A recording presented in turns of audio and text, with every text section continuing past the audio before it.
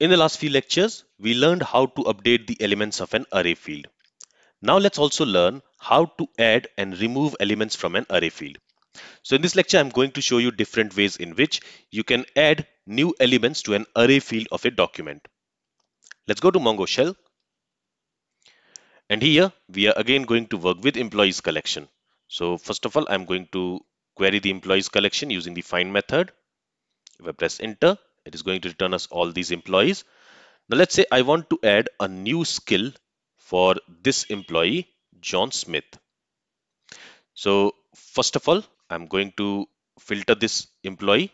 So for that, I'll say db.employees and we want to update one document here. We want to update the document for John Smith. So let's use update one method here.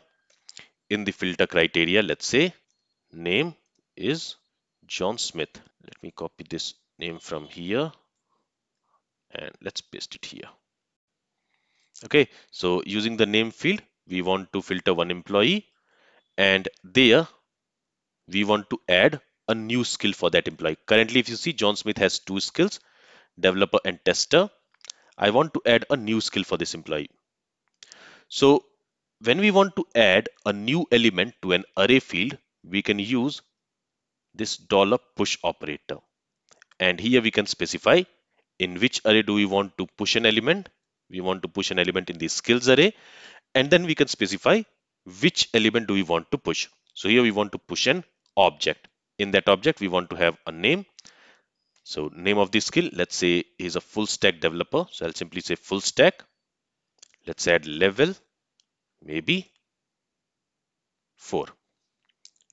Okay, now you can also add some more fields if you want, but I'm only going to keep two fields, name and level. Let me copy this command. Let's paste it here. So just notice that currently this John Smith only has two skills, developer and tester. Now if I press enter, you will see matched count is 1, modified count is 1. So if we go ahead and if we query the employees collection again, now you will see for John Smith, we have three skills now and this skill is newly added where it says full stack.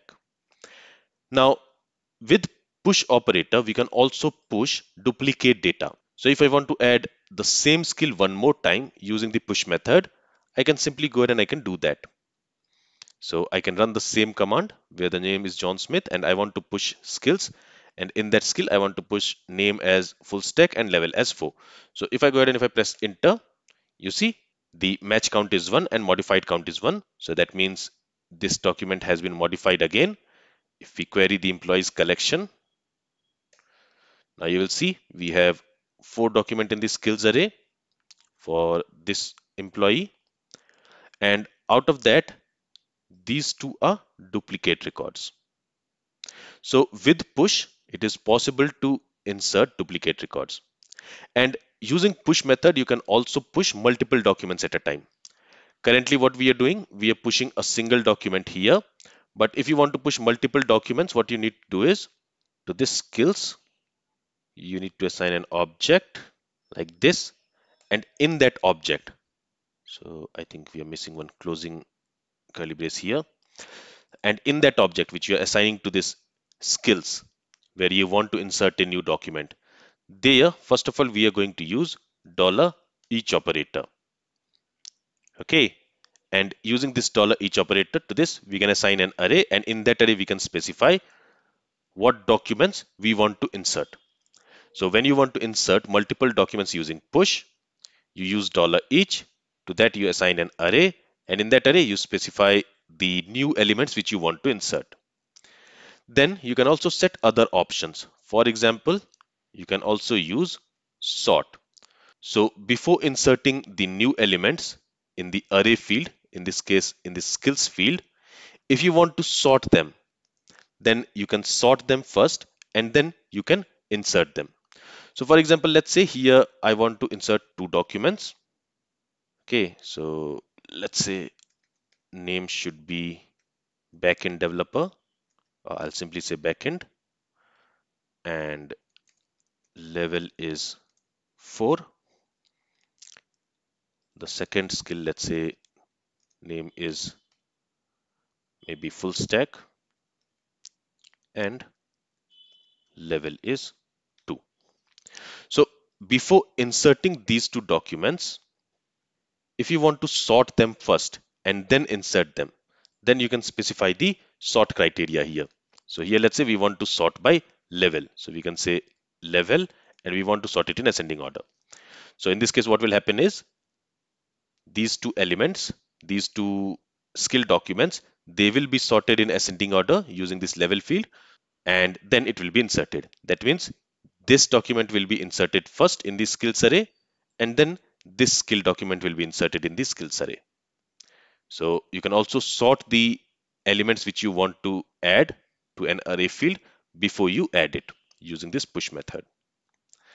And you can also use slice operator here.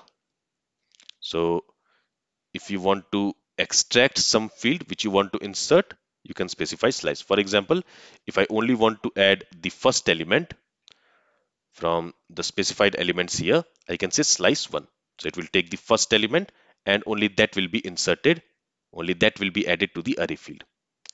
So these settings also you can do you can insert multiple documents at a time using this push method and this dollar each method. If you want to sort them before inserting you can use sort. And if you want to extract some elements from the specified array which you are going to insert then you can use slice. So whatever you have sliced only that will be inserted. Okay but we don't need it here. So I just wanted to show you this. Of course I can go ahead and run this command and it will insert these two elements in the array or actually let me show you that so what I will do is I'll remove this slice from here because I don't want to extract anything so what I will do I will sort the elements which I'm trying to insert here and then I want to insert them. So here I'm trying to insert multiple documents. Let me copy this and let's go ahead and let's paste it here and let's run this command. So one document has been modified. Let's query the collection again. And now you will see that in the skills array, we have six skills. And as you can see, they have been sorted by level in ascending order. Alright, so this is what push method is. Using push method, you can insert multiple documents at a time and it also allows you to insert duplicate documents. But what if you don't want to insert duplicate elements in an array?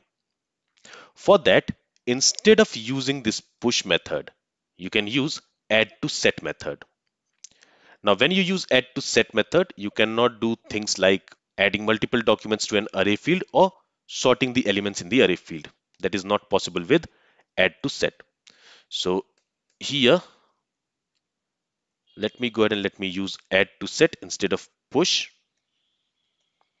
And what do we want to add? First of all, we want to add new elements in the skills array. So we will specify the skills array and then we need to specify what do we want to add. So here, let's say I want to add a new element to the skills array where the name is again full stack okay and let's say level is 2 now in this document where the name is John Smith we already have a skill where the name is full stack and level is 2 so if we try to insert this document it should give us an error. It should not insert this document. So let me copy this command here. Let's paste it here. And if I press enter okay here we have an error because here we have a spelling mistake. It should be add to set let me copy this let's clear the console first and let's paste the command again let's run the command now you'll see matched count is 1 but the modified count is 0 so it found one document with this filter criteria but it did not updated that document because there we are trying to insert a duplicate value. That's why it did not updated that. But let's say if I change the level to maybe 7. So we don't have any element in the skills array of John Smith where the skill is full stack. I mean, we have an element where the skill is full stack, but where the level is 7. So this will now not create a duplicate record if we go ahead and if we run this now now you will see the modified count is 1 and if we go ahead and if we query the employees collection now you will see that here we have one more skill added with the name full stack and the value is 7 so earlier there was no element with the name full stack and level 7 so this is not creating a duplicate record. That's why it has been inserted here. Okay so this is how add to set works. Add to set is different from push operator because push operator allows us to add duplicate elements in an array field. But add to set does not allow us to add duplicate elements in an array field and also using add to set we can only insert a single element to an array field but using push operator we can insert multiple elements to an array field at a time so this is all I wanted to cover in this lecture. In the next lecture, let's learn how we can remove an element from an array field.